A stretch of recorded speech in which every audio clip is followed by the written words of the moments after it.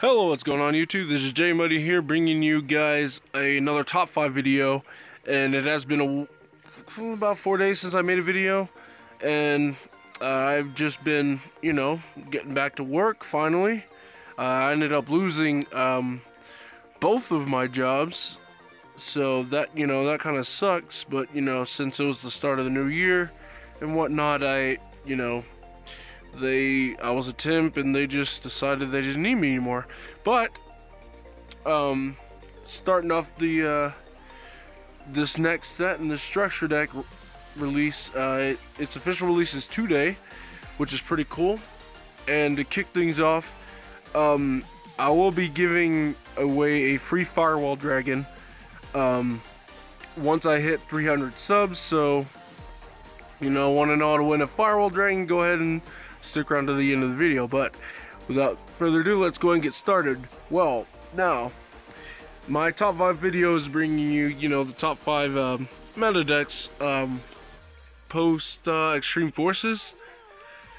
And this is assuming, you know, we have the ban list, you know, so I am including a potential ban list as to what can maybe shift some things uh, back and forth. So we're going to go and get started, and we're going to start off with our number 5 pick, which is Lightsworn variant type decks. Now, with the introduction of Kyrios, a Lightsworn Dominion, or Dominion and Lightsworn, whatever you want to call it, in Extreme Forces, it is going to bolster the uh, consistency of Lightsworns pretty heavily. You can literally foolish any card.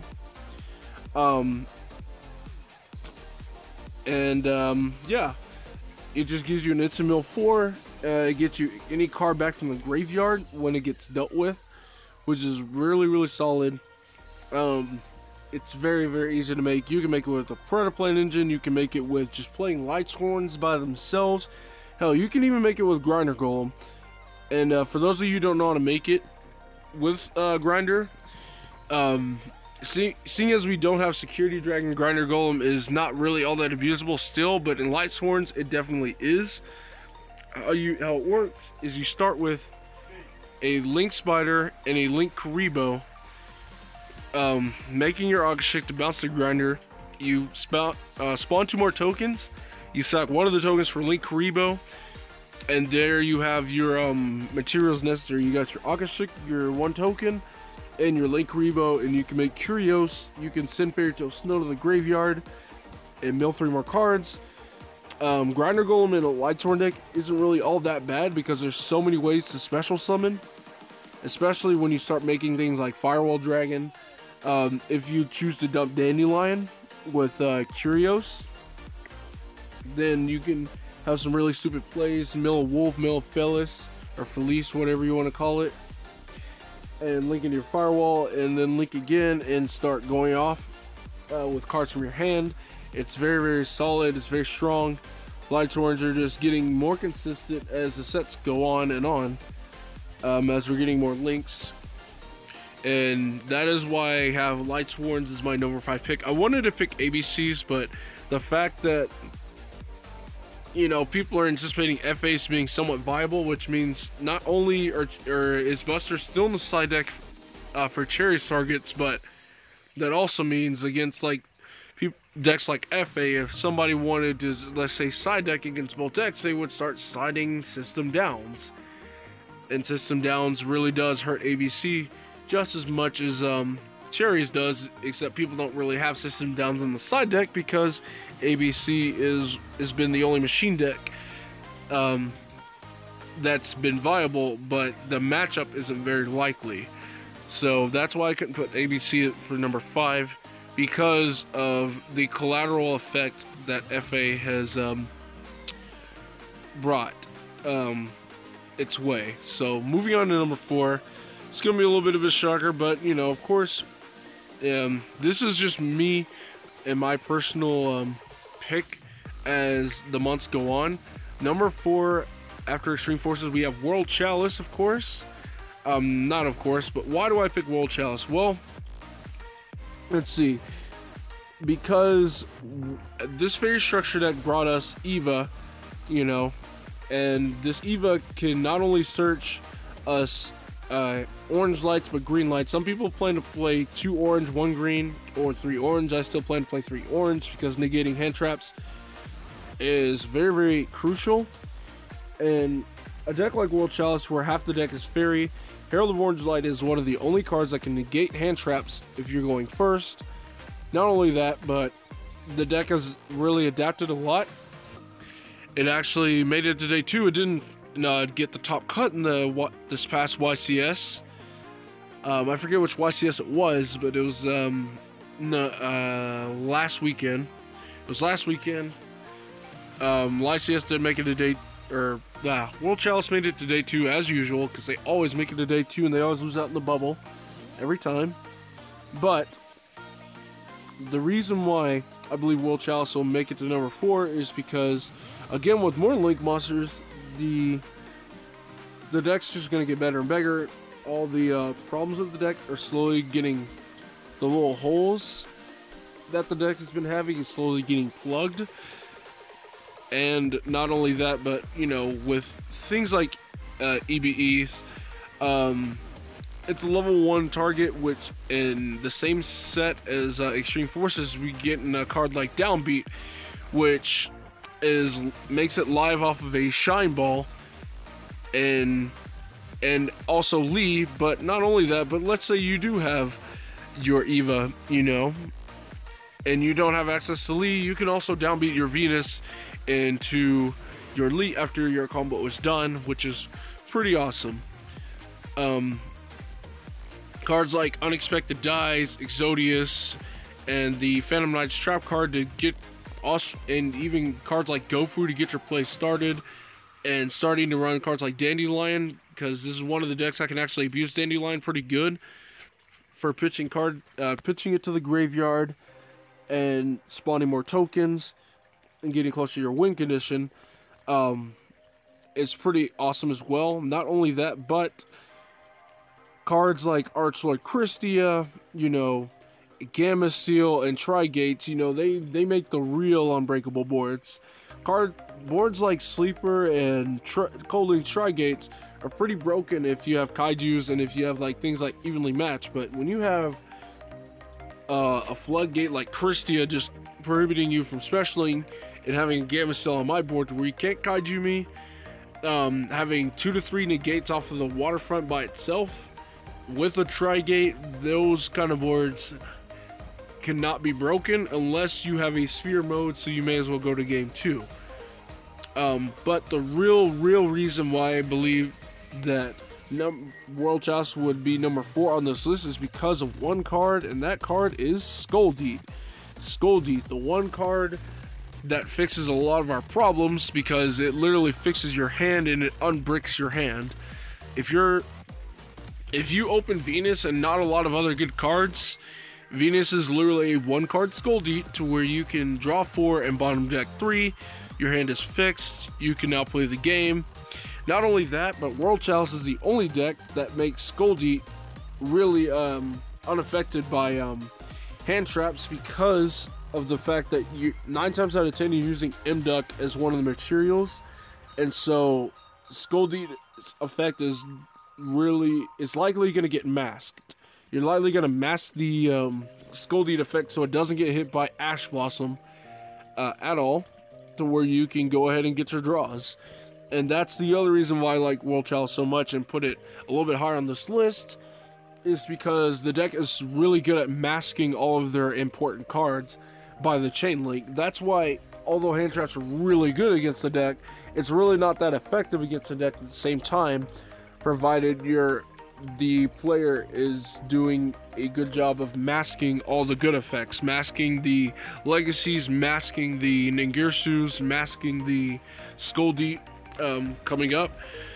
And, you know, Skull is a phenomenal addition to the deck, and so is Eva, actually. Being able to search um, the hand traps to stop other hand traps. Not only that, but to search your cards to get your combos going, if you don't have it already is just a big bump, a big plus, in my opinion. So that is why I put World Chalice at number four.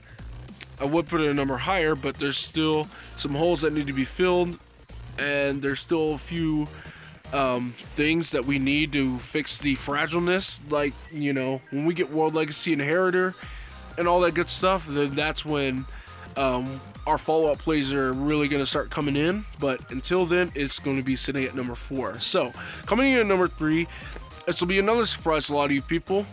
Um, number three, we have Spirals. And in particular, I have going second Spirals because if either Master Plan gets banned or if Resort gets limited, it won't be as optimal to go first. Um, because if you open certain things, um, you're not going to make the most optimal board you can possibly make. Not only that, but searching Resort um, is a little bit even. Yeah, getting Resort early game during your first turn is even more important if you go first versus going second to where you can still play three spiral toughs uh, to break boards. Um, you still can have your three full spiral goods. You still have your super agents to deal with back row, and you still have your assaults and all that other good stuff to net you more advantage as you're going second and using tough multiple times to deal with your opponent. Sleeper, it would is not even being looked at right now. That is what's you know the big problem. Spiral is granted, you know, master plan net nets you all the advantage, but you know, what is all that advantage without their this super big boss monster that blows up two cards every round, or four cards with every round, two cards per turn. You know that um, spot sleeper might actually go up to to doubles, maybe, just to facilitate more um, board breaking power.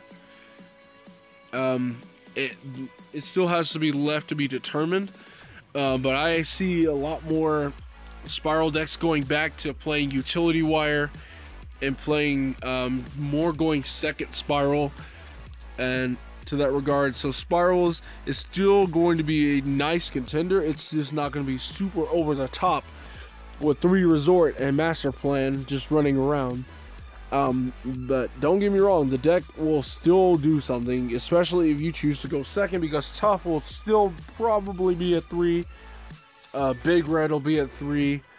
Um, Foolish Burial Goods will probably still be a three. Assault and Rescue will both still very much be a three.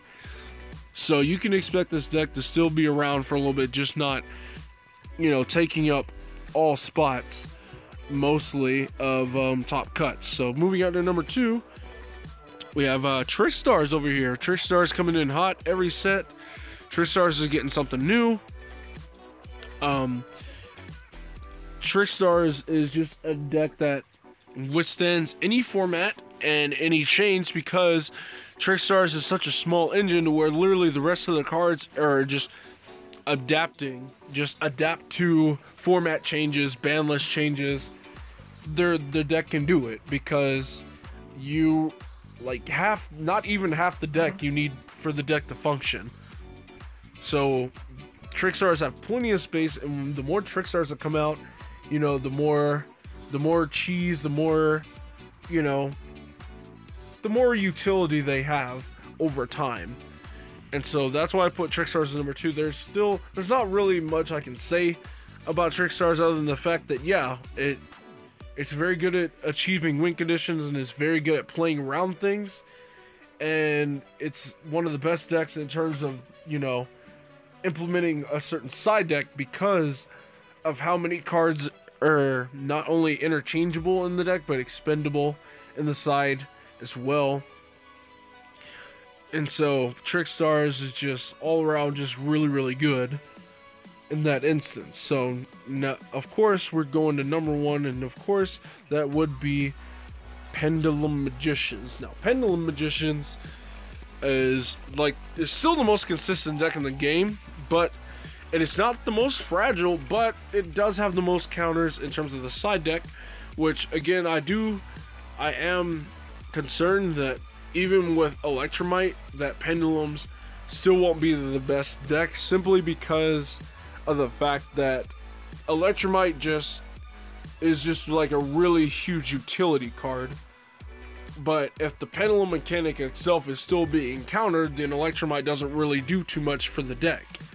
You know, yes, if if there is no answers and there is no responses to things such as, you know, game 2 and game 3, then yeah, Electrumite is it's a broken card. Don't get me wrong, but you know, it's it's a it's a it's a good catalyst to facilitate through all your pendulum cards that you already get access to with most of the cards in the main deck as a whole and Electrumite just gives you extra cards. That's really it, but you know, getting extra cards isn't enough to win a game.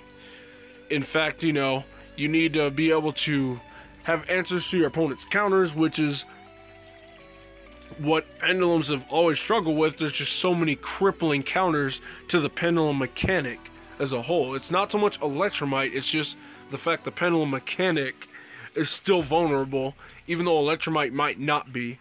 And that is the problem I have with it. But, you know, the builds will change. Um, Chronograph Sorcerers start going to start getting played because it takes Time Gazer Magicians and just straight up summons them to the field, giving you extra fodder um, to make Electrumite potentially without going into your um, uh, committing your normal summon, which is huge.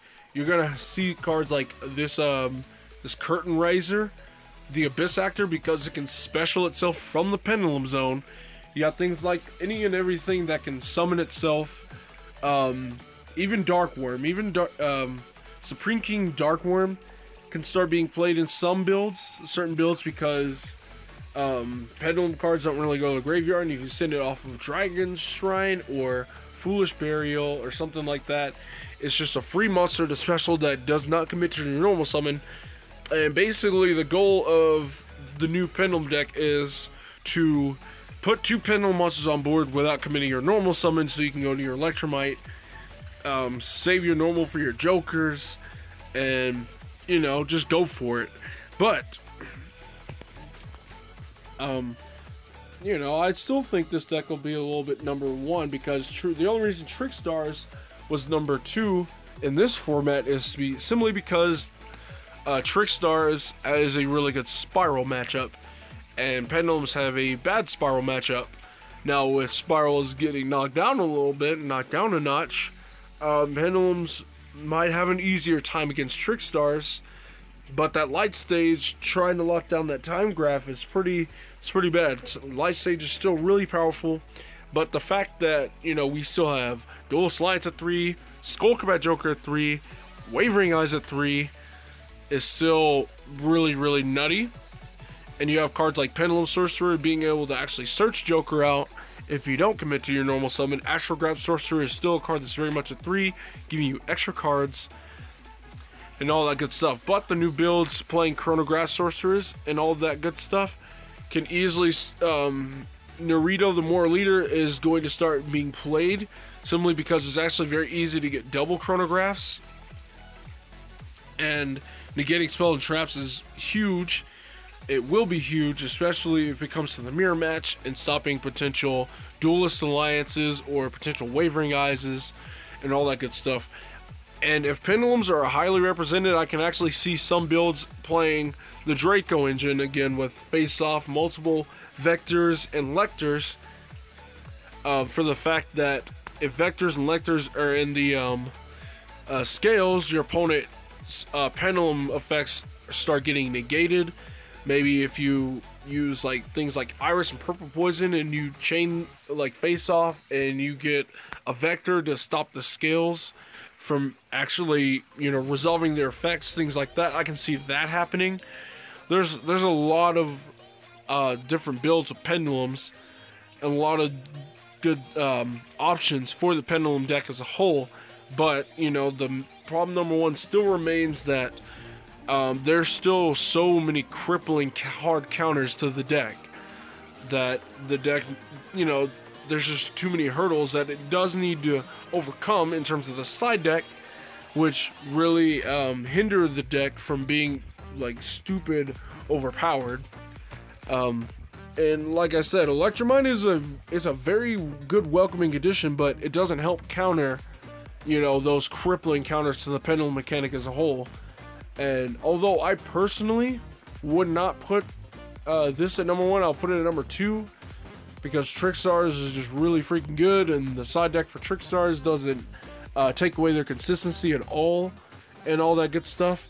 The fact that Pendulums need to run almost all of their cards uh, to search the whole deck out means the, um, that maximum you have space for four hand traps, and that might bump your deck count up to 41, 42, I don't know. But, you know, running a certain amount of hand traps that a pendulum deck does take away consistency. So I personally will put it at number two, but, you know, this is just a prediction. You know, I could be wrong, and a lot of people could be very, very smart if there's a bigger pendulum representation versus a trickstar representation. Um, similarly, for the fact that trickstars might actually get some sort of hit on the ban list, and pendulums may not.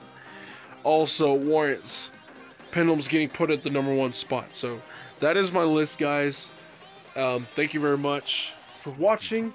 And now that for those who stuck to the end of the video, if you do want to win a free Firewall Dragon, just be sure to just subscribe to the channel, our channel, and comment down below.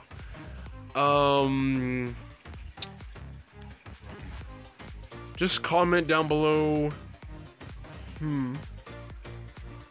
Firewall Dragon to two. Just comment Firewall Dragon to two. I love it at three. No, no, no, you know what? Comment Firewall Dragon to yeah, Firewall Dragon to two. Uh, as much as I love 3 Firewall, I don't think it should get hit down to 1 right now. Same thing with Level Eater. Again, TCG is not really known for preemptively hitting cards until they become a problem. The only exception to that was Tyrant's Neptune, and that is because Tyrant's Neptune literally had no counters to it. There's literally no counter to a Tyrant Neptune except a Kaiju. And if you didn't have a kaiju, you literally lost the game. But however, there is multiple ways to counter uh, Level Eater. There are multiple ways to counter Firewall Dragon. So I do hate to spoil people's hopes and dreams and hope and uh, hopes for a preemptive strike against certain things. But that is not how TCG Konami does things.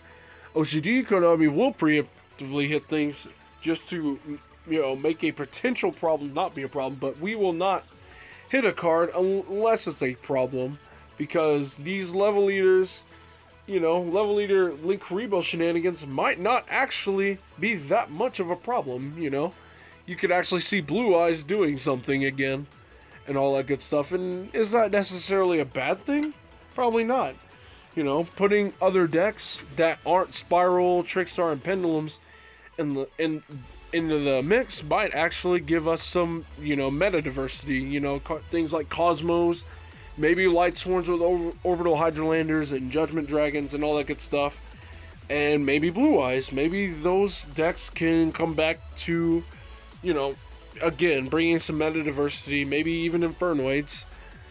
You know, so is that such a bad thing? I, again, I don't think Level Eater will make any already meta relevant deck even more overpowered. So, you know, uh, Level Eater is really more for rogue strategies. And so let rogue strategies have their fun, let them have their cards.